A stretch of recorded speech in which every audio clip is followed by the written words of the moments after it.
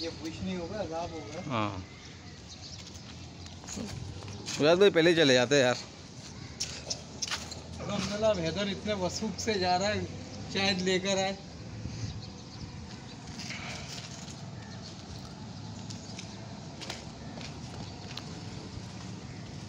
क्या पता ये भी खाली हाथ लौटेगा